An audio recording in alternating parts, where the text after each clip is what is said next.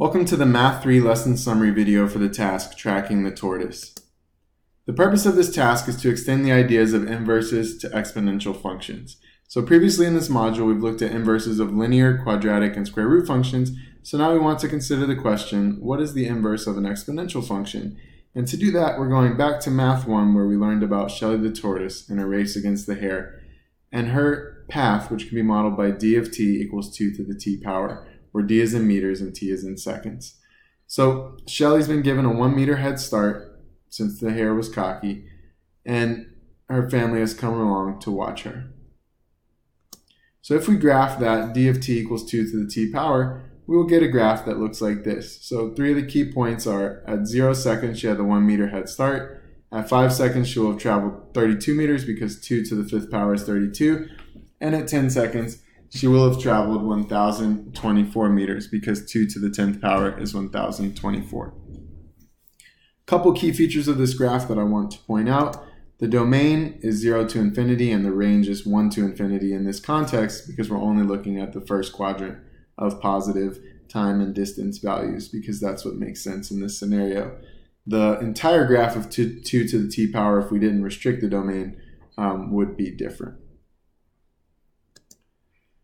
So then we have a different question, type of question. If the tortoise family wants to watch at 64 meters away from Shelly's starting point, how long will they have to wait to see her come past? So we can use the same graph and we look at the y-axis. So for example, it's y equals 64. If I extend that out, I can see that they'll have to wait six seconds. Similarly, if I use that same type of logic, y equals 1024, I already know from the previous graph that that will take 10 seconds. I'm just reversing the way I'm thinking about it. Instead of substituting 10 into the equation to get 1024, I'm looking at 1024, the y value, and determining the x value. So we're inverting the way we're thinking about this, which is important. So that answered question four. It would be 10 seconds.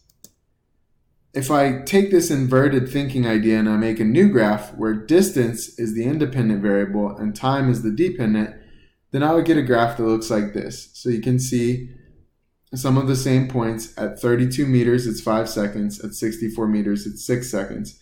But the points have been inverted from what we were looking at previously. And this is a graph that shows how long the tortoise family will have to wait to see Shelly run by a given location from her starting point.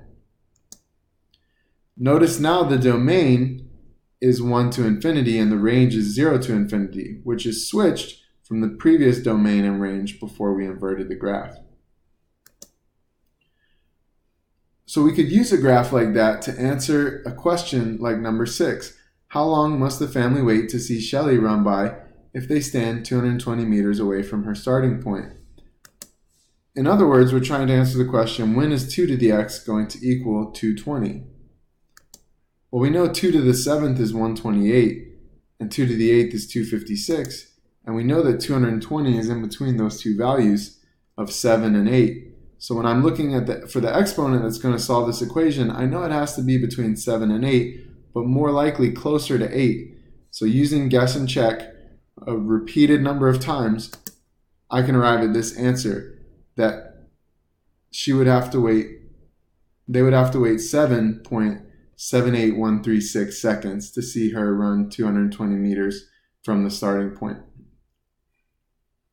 Now, there's got to be a faster way to do this than guess and check. And that's what the purpose of this task is, is trying to get us to start to think about what would be a function way of representing the opposite of an exponential function. I couldn't just divide both sides by 2 like I would if this was 2 times x.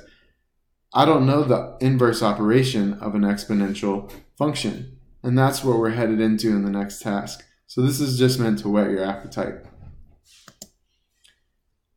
Again, if we consider the big picture of this task, we started off looking at distance versus time, where distance was dependent on time, and then the inverse, where time was dependent on distance.